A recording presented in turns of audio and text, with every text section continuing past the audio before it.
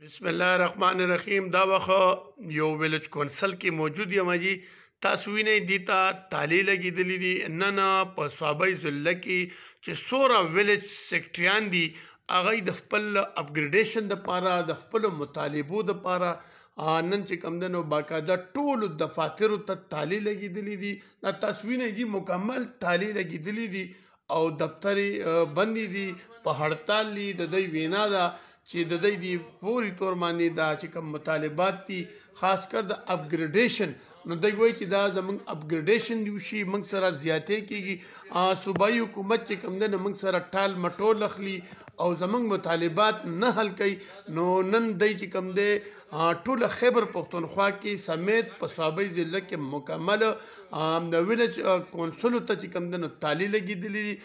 بهر ډېر خلک ولاړ دي څوک ډېټ سرټیفکیټ جوړول غواړي څوک چې کوم دنو پیدایش سرټیفکیټ جوړول غواړي څوک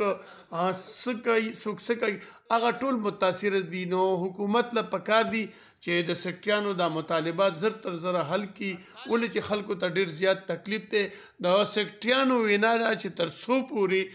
زمنګ مطالبات نه وی حل شوی نو دا هړتال به جاری وي سلیمه نزی صوبای